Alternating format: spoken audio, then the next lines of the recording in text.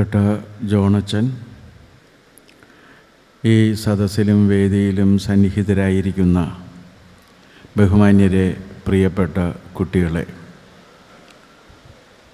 ഇതുവഴി കടന്നു പോകുമ്പോഴെല്ലാം ജോണച്ചനെ വിളിക്കുന്ന ഒരു ശീലം എനിക്കുള്ളതുകൊണ്ടാണ് ഞാൻ കോഴിക്കോട് വരുന്നുണ്ട് എന്ന് പറയുന്നത്. അപ്പോൾ ഈ വിളിച്ചു പറഞ്ഞപ്പോഴാണ് ഇന്നലെ രാത്രിയാണ് അച്ഛൻ പറയുന്നത്.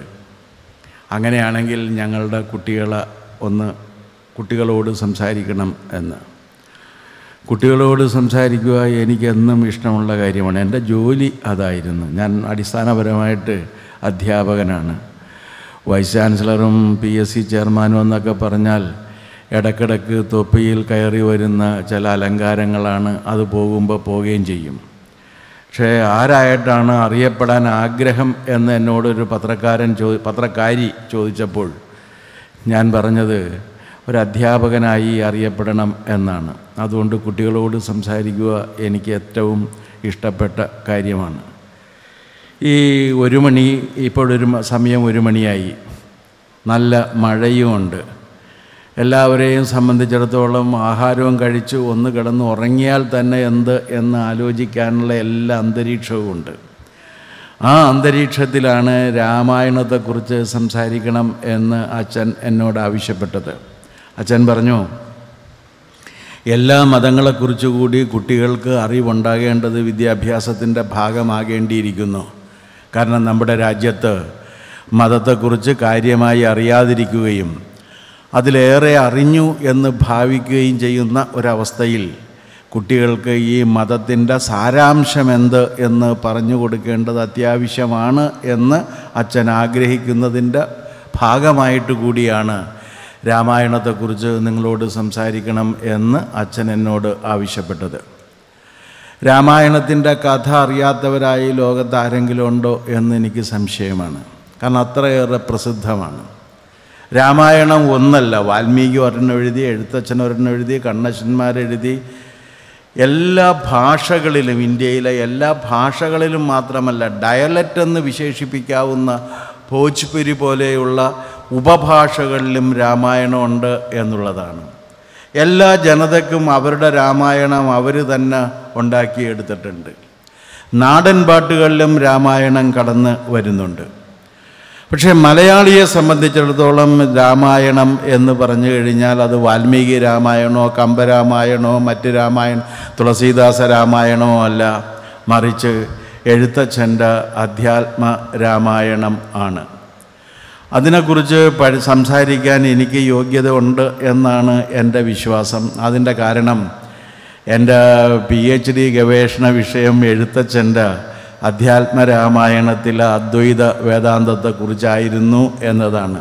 അതിലാകെ ഗവേഷണം നടത്തി കേരളത്തിൽ പി എച്ച് ഡി എടുത്തിട്ടുള്ള ഒരേ ഒരാൾ ഞാനായതുകൊണ്ട് അതിനെക്കുറിച്ചെങ്കിലും പറയാൻ എനിക്ക് ഒരവകാശമുണ്ട് എന്ന് നിങ്ങൾ സമ്മതിക്കണം. ഇവിടെ ആ കുട്ടികൾ ആലപിച്ചത് എഴുത്തച്ഛന്റെ വരികളാണ്. അതിലൊരു ചെറിയ തെറ്റുണ്ട്. പ്രാരാബ്ധം വേണ്ട പ്രാരബ്ധം മതി. കുട്ടികൾ പാടിയപ്പോൾ പ്രാരാബ്ധം എന്ന് ദീർഘത്തിൽ പാടി. ദീർഘം വേണ്ട പ്രാരബ്ധം മതി. പ്രഹർഷേണ ആരബ്ധമായത് ആരംഭിക്കപ്പെട്ടത്. ആരംഭിക്കപ്പെട്ടതെന്ന് പറഞ്ഞാൽ നമ്മുടെ ഈ ജീവിതം ഈ ശരീരത്തെയാണ് പ്രാരബ്ധം എന്നതുകൊണ്ട് അർത്ഥമാക്കുന്നത്.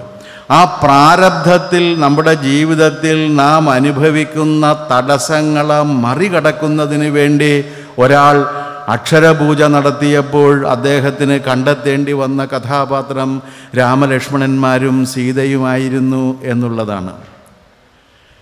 ഇവിടെ അച്ഛൻ സൂചിപ്പിച്ചു രാമരാജ്യ ദർശനത്തെക്കുറിച്ച്. ഈ ഇന്ത്യയെ ഒരുമിപ്പിക്കുന്നതിന് വേണ്ടി ഒരു മനുഷ്യൻ ആലോചിച്ചപ്പോൾ അദ്ദേഹത്തിന്റെ മനസ്സിലും കടന്നു വന്ന ബിംബം ശ്രീരാമന്റേതായിരുന്നു. ശ്രീരാമന്റെ ബിംബത്തെ ഇത്ര ഭംഗിയായി ഒരു രാജ്യത്തെ ഉൾപ്പെടുത്തുന്നതിന് വേണ്ടി ഉൾക്കൊള്ളിക്കുന്നതിന് വേണ്ടി ഐക്യമുണ്ടാക്കുന്നതിന് വേണ്ടി ഉപയോഗിച്ച ഒരാൾ മഹാത്മാഗാന്ധിയെപ്പോലെ വേറെ ഒരാളും ലോകത്തില്ല.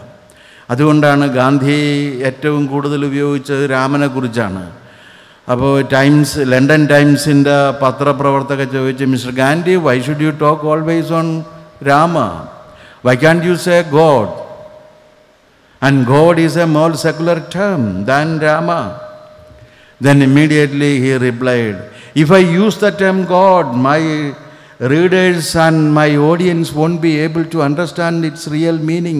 The moment I spell out the term Ram, they must be able to understand it. അതാണ് രാമൻ എന്തുകൊണ്ട് രാമായണം? ആ രാമായണത്തിനൊരു പ്രത്യേകതയുണ്ട്. രാമായണത്തിൽ മൂന്ന് മാനിഷാദകളുണ്ട്. നിങ്ങൾക്കറിയാം വാൽമീകി തുടങ്ങുന്നത് തന്നെ മാനിഷാദ പ്രതിഷ്ഠാംത്വ എന്ന് പറഞ്ഞുകൊണ്ടാണ്. അരുത് കാട്ടാള എന്ന് ആജ്ഞാപിച്ചുകൊണ്ടാണ്. കാട്ടാളത്വം എവിടെ ഉണ്ടാകുമ്പോഴും അതിനെതിരെ വിരൽ ചൂണ്ടിക്കൊണ്ട് അരുതെന്ന് ആജ്ഞാപിക്കാൻ കെൽപ്പ് കിട്ടണം എന്നതാണ് രാമകഥയുടെ ഒന്നാമത്തെ ലക്ഷ്യം. അത് ആരോടാണ് അരുതെന്ന് പറഞ്ഞത്? വേടനോടാണ്. ഇണപ്പക്ഷികളിൽ ഒന്നിൽ അമ്പെയ്ത് വീഴ്ത്തിയ വേടനോട് അരുത് കാട്ടാള എന്ന് വാൽമീകത്തിൽ നിന്നും ഉണർന്നു വരുന്ന കവിയുടെ മനസ്സിൽ ശോകം ശ്ലോകമായി ഒഴുകിയെത്തിയതാണ് കേരളത്തിന്റെയും ഭാരതത്തിന്റെയും ലോകത്തിന്റെയും തന്നെ ആദി കാവ്യം എന്ന് വിശേഷിപ്പിക്കപ്പെടുന്ന രാമായണം. അത് ആദികാവ്യമായത് അരുത് കാട്ടാള എന്ന് ആജ്ഞാപിക്കുന്നത് കൊണ്ടാണ്. എണപ്പക്ഷികളിൽ ഒന്നിനെ അമ്പെയ്ത് ഒരു വേടൻ വീഴ്ത്തിയപ്പോൾ ആ ദുഃഖം സഹിക്കാതെ ആ ശോകം സഹിക്കാതെ ആ ശോകത്തെ ശ്ലോകമാക്കി മാറ്റിയപ്പോഴാണ് രാമായണ കാവ്യം നമുക്ക് ലഭിച്ചത്. ഒരു വേടനോട് അരുതെന്ന് ആജ്ഞാപിക്കാൻ ആർക്കും കഴിയും. വേണമെങ്കിൽ ഞാനും അത് ചെയ്യും. കാരണം വേടൻ ഇത്രേ കരുത്തുള്ളു. അതും തന്നെയുമല്ല വേടന അമ്പെയ്ത് കിട്ടുന്ന ഭക്ഷിയെ കൊണ്ടാണ് ഉപജീവനം നടത്തുന്നതും. അപ്പോൾ ഈ വേടനോട് മാത്രമാണോ വാൽമീകി അരുതെന്ന് ആജ്ഞാപിച്ചത്? അല്ല. രണ്ടാമത് വാൽമീകി രാമായണത്തിൽ അരുതെന്ന് ആജ്ഞാപിക്കുന്ന അതിഗംഭീരമായ ഒരു രംഗം. സീത അപഹരണവുമായി ബന്ധപ്പെട്ടാണ് വരുന്നത്. രാമനും രാവണനും രാവണൻ നിങ്ങൾ കരുതുന്ന രീതിയിലൊന്നുമല്ല നല്ല മിടുക്കനായിരുന്നു. പരമസുന്ദരൻ. നമ്മൾ കരുതിയേക്കണ രാവണൻ എന്ന് പറഞ്ഞാൽ എന്തോ ഒരു ഭീകര രൂപം എന്നാണ്. അത് ഈ ബാല നടത്തുന്നവർ അഞ്ച് തല അപ്പുറത്തും അഞ്ച് തല ഇപ്പുറത്തും വെക്കുമ്പോൾ ഞാൻ എപ്പോഴും ഈ ബാലയില രാവണനെ കണ്ടപ്പോഴൊക്കെ എനിക്കൊരു സംശയം ഉണ്ടായിരുന്നത് ഇതെങ്ങനെ ബാലൻസിങ് ശരിയാകും എന്നുള്ളതാണ്. പതിനൊന്ന് തലയുണ്ടെങ്കിൽ അഞ്ചെണ്ണ അപ്പുറത്തും അഞ്ചെണ്ണ ഇപ്പുറത്തും നടുക്കൊരെണ്ണം വെച്ച് കഴിഞ്ഞാൽ ബാലൻസിങ് കിട്ടും. ഈ പത്തെണ്ണത്തിൽ ബാലൻസിങ് ശരിയാകില്ലല്ലോ എന്ന് ആദ്യമായി ബാലയിൽ രാവണനെ കണ്ട അന്ന് തുടങ്ങിയ സംശയം ഇന്നും മാറിയിട്ടില്ല. ഞാൻ അവസാനം എന്റെ മാഷോട് ചോദിച്ചു മാഷ ഇതിനകത്ത് ബാലൻസ് കിട്ടുമെന്ന് ചോദിച്ചു. നിന്റെ ഒരു ബാലൻസ് നിനക്ക് വേറെ ഒന്നും കണ്ടില്ലേ? എന്ന് ചോദിച്ചിട്ട് പറഞ്ഞ് അത് അവർക്ക് ശരിയായിക്കോളും. നീ വിഷമിക്കണ്ട എന്ന് പറഞ്ഞ കാരണം. പക്ഷേ ഞാൻ അതിനുശേഷം വിഷമിച്ചുകൊണ്ടിരുന്ന് എങ്ങനെയാണിത് വരിക എന്ന്. പത്ത് തല എന്ന് പറഞ്ഞാൽ അനന്തമായ ബുദ്ധിശക്തിയാണ്. അവന് പത്ത് തലയാണെന്ന് പറയാറില്ലേ? പത്ത് തല എന്നുള്ളൊരു പ്രയോഗമാണ്. എന്താണ് ആ പ്രയോഗത്തിന്റെ അർത്ഥം? അപാര ബുദ്ധിശക്തി അപാരമാണ് ബുദ്ധിശക്തി. ഇരുപത് കയ്യ് അനന്തമായ കർമ്മശേഷി അനന്തമായ ബുദ്ധിശക്തിയും അനന്തമായ കർമ്മശേഷിയും. അയാൾ ജീവിച്ചിരുന്ന കാലത്ത് അയാളായിരുന്നു ലോകത്തിലെ ഏറ്റവും വലിയ സമ്പന്നൻ. ലങ്ക സ്വർണം കൊണ്ടായിരുന്നു ലങ്കയുടെ ഗോപുരം നിർമ്മിച്ചിരുന്നത്. സ്വർണം കൊണ്ടായിരുന്നു നാടകശാലകൾ നിർമ്മിച്ചിരുന്നത്. സ്വർണപാത്രത്തിലായിരുന്നു വിവിധതരം ആഹാരം കൊടുത്തിരുന്നത്. രാവണൻ ഏറ്റവും വിശിഷ്ടമായ ആഹാരങ്ങളിൽ ഒന്നായി വാൽമീകി പറഞ്ഞിട്ടുള്ളത് പന്നിയിറച്ചിയും പരിപ്പും തൈരും സമം ചേർത്ത് ഉണ്ടാക്കുന്ന ഒരു ഭക്ഷണമാണെന്നാണ്. നിങ്ങൾ ഇറച്ചി കഴിക്കുന്നവരുണ്ടെങ്കിൽ പരിശോധിക്കാവുന്നതാണ്. എനിക്ക് ഞാൻ ഇറച്ചി കഴിക്കാത്തതുകൊണ്ട് ഇന്ന് വരെ അതിന്റെ രുചി ഭാവനയിൽ പോലും കണ്ടിട്ടില്ല. ഇറച്ചി കഴിക്കുന്നവരുണ്ടെങ്കിൽ തീർച്ചയായിട്ടും ഈ റെസിപ്പി ഒന്ന് പരിശോധിക്കുക ഒന്ന് പരീക്ഷിക്കേണ്ടതാണ്. എന്താ കാര്യം എന്ന് വെച്ചാൽ പന്നിയിറച്ചി പരിപ്പ് തൈര് ഇത് സമം ചേർത്ത് ഉണ്ടാക്കിയ അതിവിശിഷ്ടമായ ഈ ഭക്ഷണം ഈ റെസിപ്പി സ്വർണത്തളികയിലായിരുന്നു വിളമ്പിയിരുന്നത്. ലങ്കാഗോപുരത്തിന്റെ ഉയരം കണ്ട് ആദ്യം അവിടെ ചെന്നപ്പോൾ ഹനുമാൻ അമ്പരന്ന് പോയി. ഹനുമാൻ അമ്പരപ്പോടുകൂടി കണ്ട ലങ്കാഗോപുരത്തിന്റെ ഉയരം മുഴുവൻ ഒരു ദീർഘാക്ഷരത്തിൽ ഒരൊറ്റ ദീർഘാക്ഷരം. അതുകൊണ്ടാണ് ഞാൻ കുട്ടികളോട് പറഞ്ഞത് വെറുതെ ദീർഘാക്ഷരങ്ങൾ ഉപയോഗിക്കരുത് എന്ന്. ഒരൊറ്റ ദീർഘാക്ഷരത്തിൽ ഗംഗ ലങ്കാനഗരത്തിന്റെ ഉയരം മുഴുവനും കാണിച്ചു തന്നത് എഴുത്തച്ഛനാണ്. ഏ ഹനുമാൻ ലവണജല നിധി ശതക യോജനാവിസ്തൃതം. ആ യോജനാവിസ്തൃതം എന്നുള്ള ദീർഘം വരുമ്പോൾ അതിന്റെ വിസ്താരം മുഴുവൻ മനുഷ്യരുടെ മനസ്സിലേക്ക് കടന്നു വരും. അത് കഴിഞ്ഞ് ചാടുന്നത് പറയുന്നതാ ലവണജലനിധി ശതക യോജനാവിസ്തൃതം. ചാട്ടം എങ്ങനെയാണ്? പെട്ടെന്നാണ്. ലംഘിച്ചു. കണ്ട? ലംഘിച്ചു. അവിടത്തെ ആ ദീർഘം മുഴുവൻ മാറ്റി.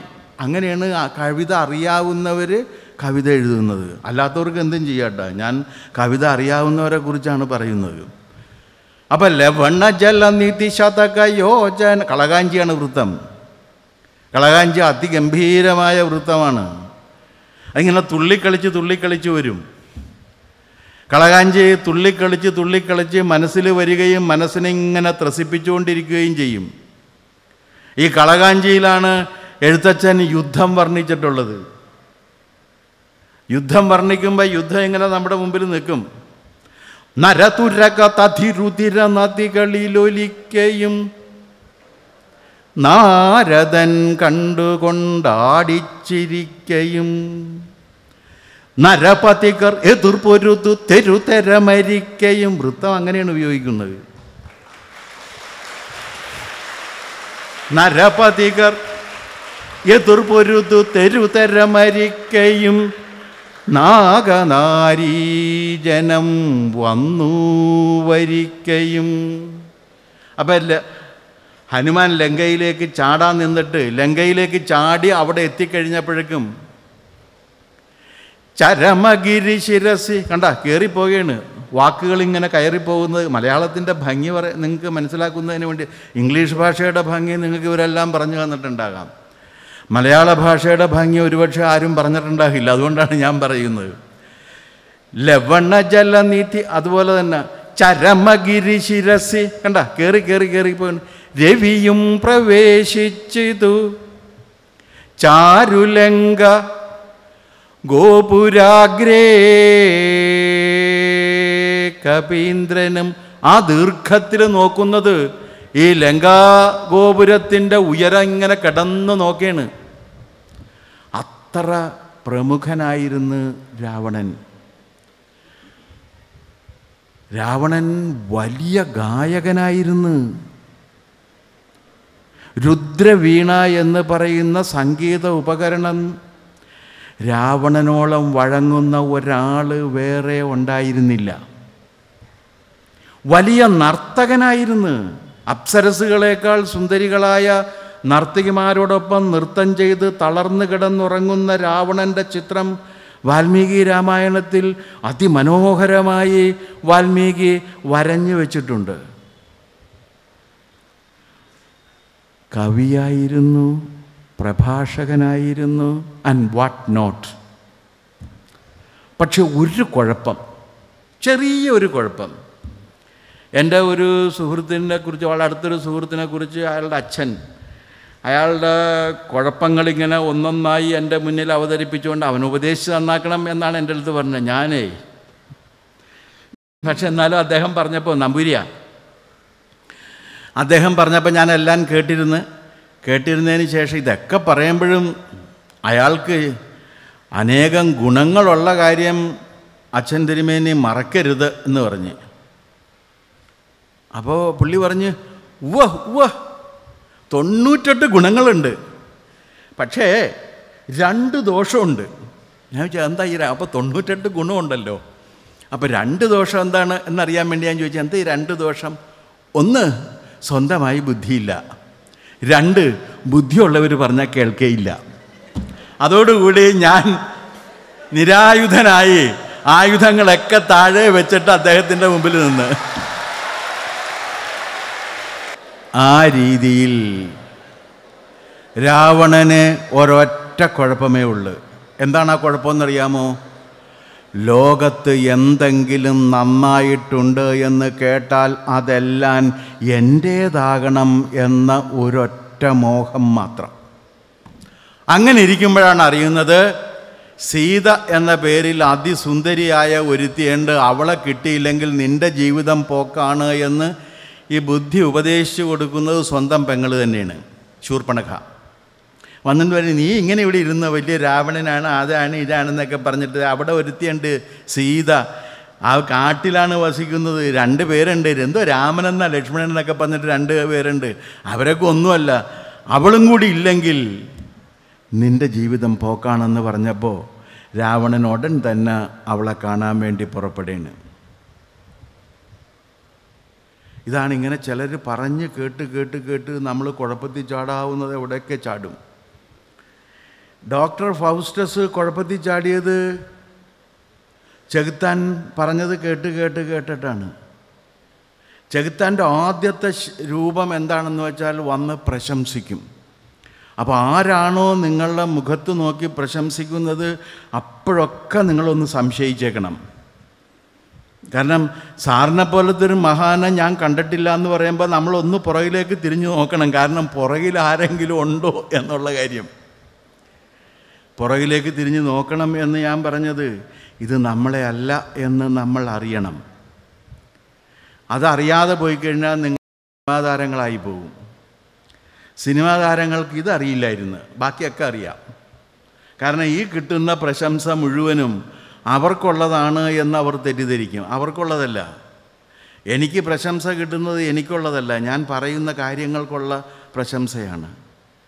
അത് നാളെ ഞാൻ ചത്തു കഴിഞ്ഞാൽ എത്ര പ്രശംസിക്കുന്നവരും ഇരുപത്തിനാല് മണിക്കൂറിന് അപ്പുറത്തേക്ക് അടുത്ത് നിൽക്കില്ല. കാരണം ദുർഗന്ധം വരും. അത്രയേ ഉള്ളൂ നമ്മൾ അത്രയുള്ളു എന്നുള്ള കാര്യം രാവണൻ അറിയില്ലായിരുന്നു.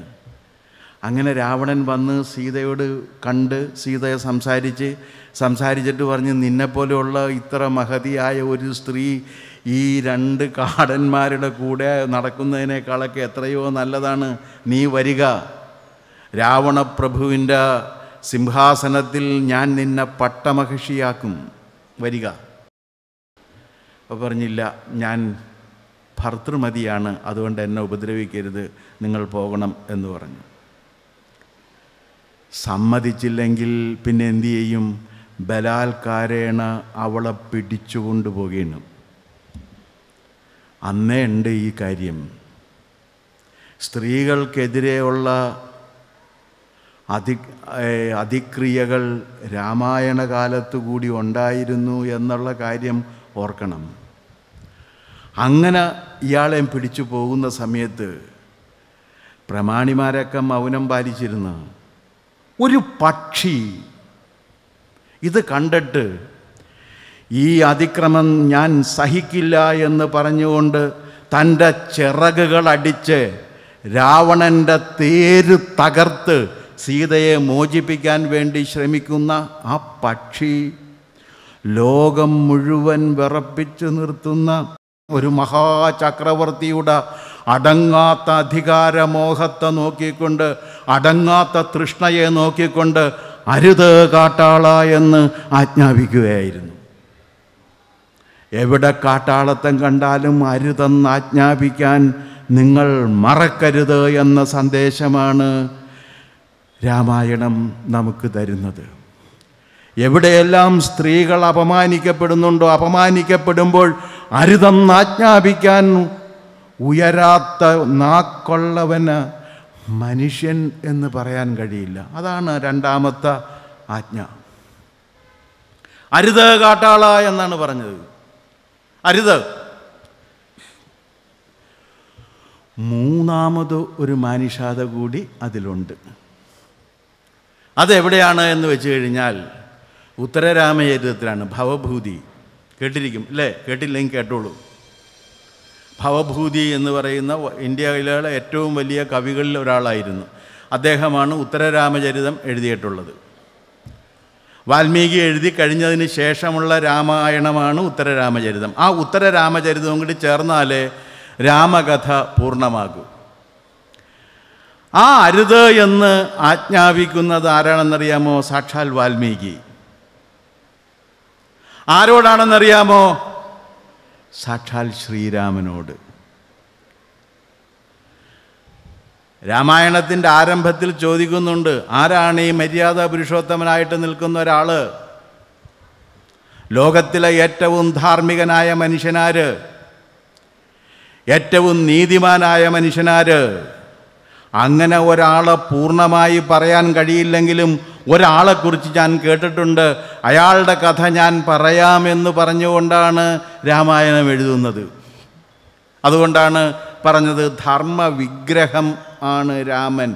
ഈ വിഗ്രഹം എന്ന് പറഞ്ഞാൽ ഐഡൽ അല്ല. അങ്ങനെയാണ് കുട്ടികളെ പറഞ്ഞ് പഠിപ്പിക്കാറുള്ളത്. ഐഡൽ അല്ല. വിശേഷേണ ഗ്രഹിക്കുന്നതാണ് വിഗ്രഹം. എന്താ വിശേഷേണ ഗ്രഹിക്കുക എന്ന് പറഞ്ഞാൽ ഒരു സാമാന്യ തത്വത്തെ അറിയുന്നതിന് വേണ്ടി ഒരു വിശേഷത്തെ ഉദാഹരണമാക്കുന്നു. അതെങ്ങനെ അറിയാൻ കഴിയും? ആപ്പിളിനെ ഉപാധിയാക്കി ഗുരുത്വാകർഷണ നിയമം വ്യാഖ്യാനിക്കുന്നത് പോലെ ആപ്പിളാണ് വിഗ്രഹം. ആ വിഗ്രഹത്തെ നാം കാണുമ്പോൾ ആപ്പിളിനെ കാണുമ്പോൾ ഞാനാണെങ്കിൽ എന്ത് ചെയ്യുമായിരുന്നു ചോദിച്ചു കഴിഞ്ഞാൽ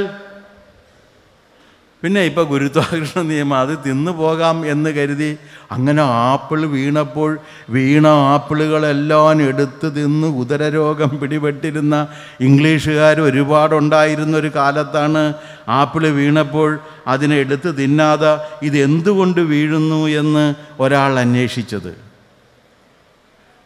അങ്ങനെയാണ് ഗുരുത്വാകർഷണ നിയമം ആവിഷ്കരിക്കപ്പെടുന്നത്. അപ്പോൾ ആപ്പിളിനെ ഉപാധിയാക്കി ഗുരുത്വാകർഷണ നിയമം ആവിഷ്കരിക്കുന്നത് പോലെ ശ്രീരാമനെ ഉപാധിയാക്കി ധർമ്മം എങ്ങനെയാണ് പ്രവർത്തിക്കേണ്ടത് എന്ന് ആവിഷ്കരിക്കുന്ന ധർമ്മമാണ് കർമ്മമാണ് വാൽമീകി നിർവഹിക്കുന്നത്. നിങ്ങൾക്കറിയാം സീതയും പരിത്യക്തയാക്കപ്പെട്ട് രണ്ട് കുട്ടികളോടൊപ്പം. അതിന് കാരണം നുണ പറയുന്നവരുടെ കഴിവായിരുന്നു. അന്ന് കുമാരനാശാൻ ഒരു ചിന്താവിഷയായ ചിന്താവിഷയ സീതയിലാണ്. ഞാൻ പത്താം ക്ലാസ് വരെ മാത്രം മലയാളം പഠിച്ച ഒരാളാണ്. മലയാളത്തിൽ അതുകൊണ്ട് എനിക്ക് എത്ര തെറ്റ് വേണമെങ്കിലും വരുത്താനുള്ള എല്ലാ അവകാശമുണ്ട്. അപ്പോൾ അതുകൊണ്ട് പത്താം ക്ലാസ്സുകാരന്റെ മലയാളമായി തെറ്റുകളുണ്ടെങ്കിൽ നിങ്ങൾ ക്ഷമിക്കണം. എന്റെ കുമാരനാശാന്റെ ചിന്താവിഷയ സീതയിലാണ്. തക്ഷികളോട് തന്നെയും ഘനമേറും. ഖലജിഹ്വമല്ലിടാം ആശാൻ ഇതിനെ ഉപയോഗിച്ചിട്ടാണ് ഈ സന്ദർഭമാണ് ആശാന്റെ മനസ്സിലപ്പോൾ ഉണ്ടായിരുന്നത്. എന്താ കാര്യം എന്ന് വെച്ചാൽ തനതക്ഷി നേരിട്ട് കണ്ടവനോട് പോലും നുണ പറയും. ഏ അങ്ങനെയല്ല ഒന്ന്. അത് നിങ്ങൾ അറിയണം എന്നുണ്ടെങ്കിൽ വേറെ ഒന്നും ചെയ്യാനില്ലെങ്കിൽ ഏഴര തുടങ്ങി ഒൻപതര വരെ ഏതെങ്കിലും ന്യൂസ് ചാനൽ നോക്കിയാൽ മതി. എങ്ങനെയാണ് നുണ പറയേണ്ടത് എന്നുള്ളതിൽ നിങ്ങൾക്ക് പരിശീലനം കിട്ടും. കാരണം നുണയമല്ലാതെ വേറെ ഒരു കാരണവശാലും വീട്ടിൽ നിന്ന് അവരിറങ്ങുന്ന സമയത്ത് ആദ്യം എടുക്കുന്ന തീരുമാനം അന്ത എന്റെ ഉയിർ പോയാലും സത്യം ചൊല്ലമാട്ടേ എന്ന് പറഞ്ഞുകൊണ്ടാണ്. എന്റെ ജീവൻ പോയാലും സത്യം പറയില്ല എന്ന് പറഞ്ഞുകൊണ്ടാണ് അവർ വരുന്നത്. അപ്പോൾ സീതയെക്കുറിച്ച് അപവാദങ്ങൾ പറഞ്ഞു പരുത്തിയപ്പോൾ ധാർമ്മിക ചക്രവർത്തിയായ രാമൻ സീതയെ ഉപേക്ഷിച്ചു കാട്ടിലുപേക്ഷിച്ചു കാട്ടിലുപേക്ഷിച്ച് അനാഥയാക്കപ്പെട്ട് ഭർത്താവിനാൽ പരിത്യക്തയാക്കപ്പെട്ട് രണ്ട് കുട്ടികളുടെ അനാഥയാക്കപ്പെട്ട ഒരു സ്ത്രീ. ആ സ്ത്രീക്ക് വേണ്ടി ധാർമ്മികനായ മഹാരാജാവ് ശ്രീരാമചന്ദ്രൻ രാജ്യഭാരം നടത്തിക്കൊണ്ടിരിക്കുന്ന രാജധാനിയിലേക്ക് ഈ തപോനിധി എന്ന് വിശേഷിപ്പിക്കാവുന്ന വാൽമീകി കടന്നു വന്നുകൊണ്ട് പറഞ്ഞു ആയിരത്താണ്ട് തപം ചെയ്ത് ഞാൻ നേടിയ എന്റെ തപസിദ്ധികൾ ഒന്നുമേ എനിക്ക് വേണ്ട. ഈ സീത പങ്കിലയാണെങ്കിൽ ഒന്ന് ആലോചിച്ച് നോക്ക്. ആയിരത്താണ്ട് തപം ചെയ്ത മുഴുവൻ തപസിദ്ധികളെയും ഏറ്റവും പരിത്യക്തയാക്കപ്പെട്ട അനാഥരാക്കപ്പെട്ട ഒരമ്മയ്ക്കും രണ്ട് മക്കൾക്കും വേണ്ടി മറുവിലയായി കൊടുത്തുകൊണ്ട് അന്ന് രാജ്യം ഭരിച്ച ചക്രവർത്തിയുടെ മുഖത്തു നോക്കി അരുതം ആജ്ഞാപിക്കാൻ കേൾപ്പുണ്ടായവനാണ് വാൽമീകി. അപ്പം അധികാരത്തിന്റെ മുന്നിൽ കൈക്കരുത്തിന്റെ മുന്നിൽ ബുദ്ധിശക്തിയുടെ മുന്നിൽ അതെല്ലാം അധർമ്മമായി നമ്മുടെ സമൂഹത്തിൽ വരുമ്പോൾ അതിനെതിരെ നിന്നുകൊണ്ട് അരുതെന്നാജ്ഞാപിക്കാൻ കേൾപ്പ് തരുന്ന ഗ്രന്ഥമാണ് രാമായണം. അതാണ് രാമായണം. ആ രാമനെക്കുറിച്ച് ഗാന്ധി പറയുന്നുണ്ട്. എന്റെ രാമൻ വേറെ ഈ ഇരുപതാം നൂറ്റാണ്ട് കണ്ട ഏറ്റവും വലിയ രാമഭക്തൻ ഒറ്റാളേ ഉള്ളൂ. അത് മഹാത്മാഗാന്ധിയാണ് വേറെ ആരുമല്ല. ഹനുമാനൊക്കെ പണ്ടുണ്ടായിരുന്ന ആളല്ലേ ടീച്ചറേ? ഇതാണ് കാരണം രാമഭക്തൻ എന്ന് പറഞ്ഞ ഒരാളേ ഉള്ളൂ. അദ്ദേഹം പറഞ്ഞു എന്റെ രാമൻ എന്റെ പ്രാർത്ഥനാ വിഷയമായ രാമൻ അശോധ്യ അയോധ്യ അധ അധിപതിയോ ദശരഥനന്ദനനോ സീതാപതിയോ അല്ല നിത്യവും നിരാമയവുമായ സത്യത്തിന്റെ മഹാസാക്ഷ്യത്തെയാണ് ഞാൻ രാമൻ എന്ന് പറയുന്നത്. ആ രാമൻ ഉത്തരേന്ത്യൻ കുലാക്കുകളെ പോലെ വില്ലെടുത്ത് നിൽക്കുന്ന ഒരു രാമൻ അല്ല. ഈ ലോകത്തിന്റെ മുഴുവൻ ധർമ്മവും സംരക്ഷിക്കുന്നതിന് വേണ്ടി സ്വന്തം ജീവിതം മറുവിലയായി നൽകുന്നതിന് വേണ്ടി ഇറങ്ങിത്തിരിച്ച മഹാപ്രതിഭ. ആ മഹാപ്രതിഭയുടെ കഥയാണ് രാമായണത്തിൽ പറയുന്നത്. വേറെ ആരുടെയും അല്ല അതിൽ കഥാപാത്രങ്ങൾ വന്നു പോകുന്നു. അതിൽ അച്ഛൻ ജോണച്ചൻ സൂചിപ്പിച്ചതുപോലെ അച്ഛനും മകനും തമ്മിലുള്ള ബന്ധം സഹോദരനും സഹോദരിയും തമ്മിലുള്ള ബന്ധം സൗഹൃദ ബന്ധം ഇതൊക്കെ വിവരിച്ച് വിവരിച്ച് വിവരിച്ച് പറയുന്നുണ്ട്. ഈ ലക്ഷ്മണൻ അത്ര ഒരു നല്ല കക്ഷിയൊന്നും അല്ലട്ടാ ഇപ്പോൾ നാലമ്പലത്തിലൊക്കെ എല്ലാവരും ഒക്കെ പോകാറുണ്ടെന്നൊക്കെ ശരിയാണെങ്കിലും എനിക്ക് ചില സംശയങ്ങളുണ്ട് അയാളെക്കുറിച്ച്. അതെന്തുകൊണ്ടാണെന്ന് വെച്ച് കഴിഞ്ഞാൽ രാമന് അഭിഷേകം രാജാവാക്കി അഭിഷേകം നിശ്ചയിച്ച് കഴിഞ്ഞ ഉടനെ അവിടെയും ഉപദേഷ്ടാക്കളാണ് പ്രശ്നം. കൈകേയി വളരെ സന്തുഷ്ട ചിത്തയായിട്ടിരിക്കുമ്പോഴാണ് മന്ധര വന്നിട്ട് പറയുന്നത് നീ ഇങ്ങനെ ഇരുന്നിട്ട് എന്താ കാര്യം? അപ്പോൾ ചോദിച്ചു എനിക്ക് ഇന്ന് വളരെ സന്തോഷമുള്ള ദിവസമാണ്. നാളെ പുലർകാലേ നാളെ പ്രഭാതമാകുമ്പോൾ എന്റെ രാമൻ ഈ രാജ്യത്തിന്റെ ചക്രവർത്തിയായി തീരേണ്. അപ്പോഴാ പറഞ്ഞ നിന്റെ രാമൻ ഏത് രാമൻ? നിന്റെ രാമനല്ല നിന്റെ ഭരതൻ ചക്രവർത്തിയാകണം അപ്പോൾ പറഞ്ഞു അല്ല ഇനി രാമൻ എനിക്ക് ദോഷമൊന്നും ചെയ്തിട്ടില്ലല്ലോ. ഇപ്പം ദോഷം ചെയ്തില്ലെങ്കിലും ഭാവിയിൽ ദോഷം ചെയ്യാം. അതുകൊണ്ട് നീ കരുതിയിരിക്കണം. ഉപദേഷ്ടാക്കൾ അങ്ങനെയാണ് വരുന്നത്. ഞാൻ നേരത്തെ ഡോക്ടർ ഫൗസസിനെ കുറിച്ച് പറഞ്ഞു. ക്രിസ്റ്റഫർ മാർലോ എന്ന് പറയുന്ന വിശ്വപ്രസിദ്ധനായ നാടകകാരൻ എഴുതിയിരിക്കുന്ന ഗംഭീരമായ നാടകമാണ് ഡോക്ടർ ഫൗസ്റ്റസ്. നിങ്ങൾ എപ്പോഴെങ്കിലുമൊക്കെ അതൊക്കെ ഒന്ന് എടുത്ത് വായിക്കുന്നത് നന്നായിരിക്കും. എന്താണ് ആ നാടകത്തിന്റെ പ്രമേയം എന്ന് ചോദിച്ചാൽ ആത്മാവ് നഷ്ടപ്പെട്ട് ലോകം നേടുന്നവന്റെ ദൈന്യത ഇത്ര മനോഹരമായി ആവിഷ്കരിക്കാൻ ലോകത്ത് വേറെ ഒരു എഴുത്തുകാരനും കഴിഞ്ഞിട്ടില്ല എന്നാണ് ക്രിസ്റ്റഫർ മാർലോയുടെ ഡോക്ടർ ഫൗസ്റ്റസിന്റെ ആരാധകനായ വായനക്കാരനായ എനിക്ക് തോന്നിയിട്ടുള്ളത്. അത് മാർലോയുടെ അടുത്ത് വന്നിട്ട് പറയുന്നത് നിന്നെപ്പോലെ ഇത്രയും ബുദ്ധിയുള്ള കഴിവുള്ള ഇന്റലക്ച്വലായ ഇന്റലിജന്റായ ഒരാളെ ഞാൻ എന്റെ ജീവിതത്തിൽ കണ്ടിട്ടില്ല. പക്ഷേ നിനക്ക് കുറച്ച് കുറവുണ്ട്. അതും കൂടി അങ്ങോട്ട് ശരിയാക്കി കഴിഞ്ഞാൽ നീ ശരിയാ. എല്ലാം ശരിയാകുമെന്ന് പറഞ്ഞു. എല്ലാം ശരിയാകും എന്ന് ആര് പറഞ്ഞാലും നമ്മളൊന്ന് കരുതിയിരിക്കണം. അപ്പം എല്ലാം ശരിയാകും എന്ന് പറഞ്ഞ സമയത്ത് ഇയാൾ പറഞ്ഞു വേണ്ട എനിക്ക് ഇത്രയൊക്കെ മതി പൊയ്ക്കോളാൻ പറഞ്ഞു. പക്ഷേ വളരെ പെട്ടെന്ന് പുള്ളി ഒരു കാര്യം ഓർത്തു. അതാരാണെന്ന് വെച്ചാൽ ട്രോജൻ യുദ്ധത്തിന് കാരണക്കാരിയായ അതിസുന്ദരി ആയ ഒരു സ്ത്രീ ഉണ്ടായിരുന്നു പേര് ഓർമ്മയുണ്ടോ ആർക്കെങ്കിലും? ആ പേര് നിങ്ങൾ തന്നെ കണ്ടെത്താൻ ശ്രമിക്കുക. ഞാൻ പറയുന്നില്ല. ആ സ്ത്രീ ഇവളെക്കുറിച്ച് ഓർത്തു. ഇവളെക്കുറിച്ച് ഓർത്ത് കഴിഞ്ഞപ്പോഴേക്കും പതുക്കെ ചെകുത്താനെ വിളിച്ചു വരുത്തി. വിളിച്ചു വരുത്തിയിട്ട് ചോദിച്ചു എനിക്ക് കഴിഞ്ഞ കാലത്ത് നഷ്ടപ്പെട്ടു പോയ ചരിത്രഘട്ടങ്ങളെ മുഴുവൻ ആവാഹിച്ച് എന്റെ മുന്നിൽ നിർത്തി. ആ കഥാപാത്രങ്ങളെ മുഴുവൻ എനിക്ക് കാണുവാനുള്ള ശേഷി കൂടി നീ എനിക്ക് തരുമോ ചെകുത്താൻ പറഞ്ഞ് ഞാൻ തരും തരും. അപ്പോൾ പക്ഷേ ഒറ്റ വ്യവസ്ഥയിൽ നിന്റെ ആത്മാവ് നീ എനിക്ക് തന്നെ പകരം ഞാൻ ഈ വിദ്യ തരും. അങ്ങനെ ആത്മാവ് കൊടുത്ത് ഈ വിദ്യ നേടിയിട്ട് ആദ്യം ഇയാൾ ചെയ്തത് ഈ സൗന്ദര്യധാമത്തെ തന്റെ മുന്നിൽ ആവാഹിച്ച് നിർത്തിയതിന് ശേഷം അവളുടെ മുഖം രണ്ട് കയ്യിലും കോരിയെടുത്ത് അയാൾ പറയുന്ന ചില വാക്കുകൾ ഒരു പക്ഷേ നിങ്ങളുടെ അധ്യാപകർ ഇംഗ്ലീഷ് അധ്യാപകർ നിങ്ങളോട് പറഞ്ഞിട്ടുണ്ടാകും.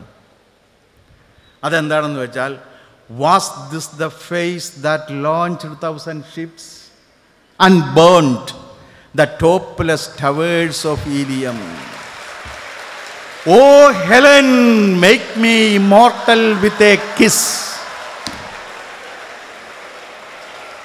was this the face that launch thousand ships ആയിരക്കണക്കിന് യുദ്ധക്കപ്പലുകളെ കടലിലേക്ക് വലിച്ചെറിഞ്ഞ് തീരാ യുദ്ധത്തിന് കാരണമായ ഈ മുഖം. ഈലിയത്തിലെ എല്ലാ കൊട്ടാരങ്ങളും തകർക്കപ്പെട്ടത് ഈ മുഖ സൗന്ദര്യത്തിന് വേണ്ടിയാണ്. ആ മുഖ was this the face that launch thousand ships and burn to the topless towers of Ilium O Helen. അടുത്തത് വരുമ്പോഴാണ് നിങ്ങൾ ഇപ്പോഴേ ഇതിങ്ങനെ ആഹ്ലാദിച്ചു കഴിഞ്ഞാൽ ഇനി അടുത്തത് പറയാൻ പോകുമ്പോൾ എന്ത് ചെയ്യും? O Helen make me immortal with a kiss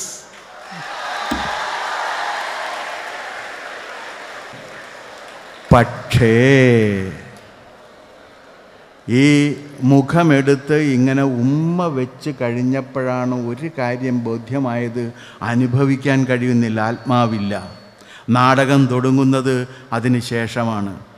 ആയിരക്കണക്കിന് വർഷം ഞാനിത് സഹിക്കാം. അവസാനം എനിക്കെന്റെ ആത്മാവ് തിരിച്ചു കിട്ടണം എന്ന് പറയുന്ന ആ ഗംഭീരമായ നാടകം എന്തുകൊണ്ടാണ് നമ്മുടെ കുട്ടികളെ പഠിപ്പിക്കാത്തത് എന്ന് എനിക്കറിയില്ല. പഠിപ്പിക്കേണ്ട നാടകമാണ്. ഞാൻ പറഞ്ഞു വരുന്നത് മന്ധരയും കൈകേയിയും ഗൂഢാലോചന നടത്തി അങ്ങനെ അഭിഷേകം കൊള ഇന്നത്തെ ഭാഷയെ പറഞ്ഞാൽ കൊളമായി. രാമൻ കാട്ടിലേക്ക് പോകാൻ വേണ്ടി നിൽക്കുന്നു. അപ്പോഴാണ് ലക്ഷ്മണൻ ഇതറിയുന്നത്. ലക്ഷ്മണൻ നേരെ ഇങ്ങോട്ട് വന്ന് ചേട്ടനെ കണ്ടിട്ട് പറഞ്ഞ് എന്താണ് ചേട്ടനെ ചെയ്യാൻ പോകുന്നത്? കാട്ടി പോകുന്ന? ഞാനുള്ളപ്പോഴോ? അത് കഴിഞ്ഞ് സ്വന്തം പിതാവിന ഈ മഹാനായ പുത്രൻ വിശേഷിപ്പിക്കുന്ന വാക്കുകൾ എഴുത്തച്ഛൻ എഴുതി വച്ചിട്ടുണ്ട്.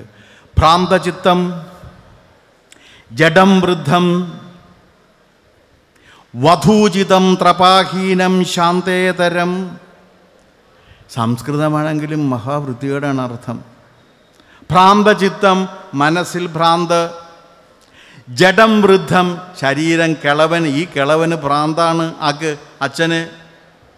വധൂചിതൻ പെൺകോന്തൻ. എന്താ കാരണം? പിന്നെ അത് കഴിഞ്ഞിട്ടോ? ത്രപാഹീനൻ നാണം കെട്ടവൻ? ഇതൊക്കെ പറഞ്ഞിങ്ങനെ നിൽക്കുമ്പോൾ സമയത്താണ് എഴുത്തച്ഛന്റെ രാമൻ പറയുന്നുണ്ട്. അതാണ് ലക്ഷ്മണ സാന്ത്വനം എന്ന് പറഞ്ഞ അത് ലക്ഷ്മണ ഉപദേശം എന്ന് പറഞ്ഞിട്ടാണ് പലരും പറയാറുള്ളത്. തെറ്റാണ്. ലക്ഷ്മണ ഉപദേശം വേറെയുണ്ട്. അതിന്റെ പേര് ലക്ഷ്മണ സാന്ത്വനം എന്നാണ്. ആ ലക്ഷ്മണ സ്വാന്തനത്തിൽ പറയുന്നുണ്ട്. എന്താ പറയുന്നതെന്നറിയാമോ? വത്സ സൗമിത്രേ കുമാര നീ കേൾക്കണം. മത്സരാദ്യം വെടിഞ്ഞെന്നുട വാക്കുകൾ ദൃശ്യമായുള്ളൊരീ രാജ്യദേഹാദിയും വിശ്വവും നിശേഷ ധാന്യധനാദിയും. സത്യമെന്നാകിലോ തൊൽപ്രയാസം തവ യുക്തം. അതല്ലായെങ്കിൽ എന്തതിനാൽ ഫലം? ഇതാണ് രാമായണം നമുക്ക് നൽകുന്ന സന്ദേശം. ഈ അധികാരത്തിന് വേണ്ടി പണത്തിന് വേണ്ടി പദവികൾക്ക് വേണ്ടി പ്രശസ്തിക്ക് വേണ്ടി അങ്ങനെ ലോകം മുഴുവൻ കീഴടക്കുന്നതിന് വേണ്ടി ബുദ്ധിയും കായികശേഷിയും എല്ലാം ഉപയോഗിച്ച് അവസാനം എല്ലാം കഴിഞ്ഞ് തീരുമ്പോൾ രാവണൻ ചോദിക്കുന്നുണ്ട് ആരോട്? മണ്ടോദരിയോട്. മണ്ടോദരി അദ്ദേഹത്തിന്റെ ഭാര്യയാണ്. എന്റെ അവസാനം ചോദിക്കുന്നുണ്ട് ഗുരുവും പത്നിയുമായ നിന്നോട് നാം ചോദിക്കുന്നു ഈ രാവണന്റെ ജീവിതം ഒരു പാഴ്ചിലവായിരുന്നു. വാസ് ഇറ്റ് എ വേസ്റ്റ് അങ്ങനെ ചോദിക്കേണ്ട ഒരവസരം ഉണ്ടാകാൻ പാടില്ല എന്നാണ് രാമായണം എന്നോടും നിങ്ങളോടും ഒക്കെ പറയുന്നത്. അത് അറിയുന്നത് തീർച്ചയായിട്ടും നിങ്ങൾക്ക് നിങ്ങളുടെ ജീവിതത്തിൽ ജീവിതത്തെ കുറേ കൂടി സുന്ദരമാക്കി മാറ്റുന്നതിന് കഴിയും എന്നാണ് ഞാൻ വിശ്വസിക്കുന്നത്. അതിന് കഴിയട്ടെ എന്നാണ് എന്റെ ആഗ്രഹം. അച്ഛൻ എനിക്ക് അനുഭവിച്ചിരിക്കുന്ന സമയം നാൽപ്പത് മിനിറ്റാണ്. ഇനി രണ്ട് മിനിറ്റ് കൂടിയുണ്ട്. ആ രണ്ട് മിനിറ്റ് ഞാൻ നിങ്ങളെ നേരത്തെ വെളി നിങ്ങളെ നേരത്തെ തന്നെ ഞാൻ മോചിപ്പിച്ചിരിക്കുന്നു. നന്ദി. നമസ്കാരം.